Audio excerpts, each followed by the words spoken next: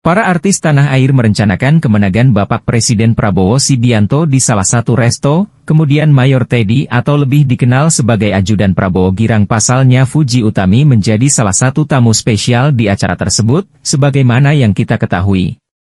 Selegram Fuji Utami atau lebih kerap disapa Uti sudah menjadi sorotan netter dengan Mayor usai dijodoh-jodohkan, tak hayal kini menjadi pertemuan menarik antara Fuji dan Mayor Teddy, selain itu nama selebgram Fujianti Utami alias.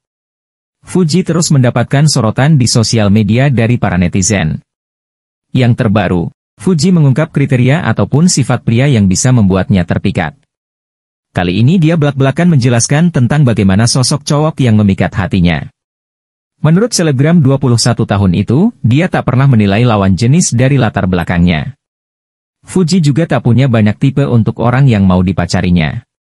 Adik dari Fadli Faisal itu mengungkal dirinya sangat tidak suka cowok ribet yang menyusahkan. Terkait hal ini diungkapkan Fuji ketika menjadi bintang tamu di salah satu podcast, Andres Andelino. Aku enggak pernah lihat background orang kak. Asalkan jangan nyusahin aku aja, kata Fuji dikutip dari akun TikTok IC Terus Satu. Terkait cowok yang menyusahkan menurut Fuji ia mengaku sangat tidak suka hal tersebut karena memiliki pengalaman pribadi. Aduh bukan bermaksud sombong, maksudnya kayak.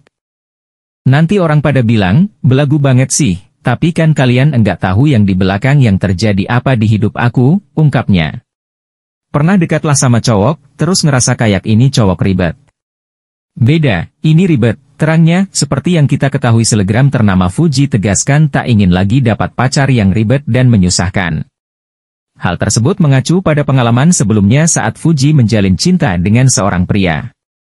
Mantan pacar Tarik Halilintar itu mengaku dirinya tak mencari pria yang kaya. Fuji mengaku lebih memilih pasangan yang tidak posesif daripada cari pacar yang kaya raya. Sebab, Fuji mengatakan tak mau ribet jika sudah berpacaran. Aku enggak pernah lihat background orang kak, asalkan jangan nyusahin aku aja, ujar Fuji dikutip pada laman akun TikTok IC Terus 1, Selasa, 9 April 2024.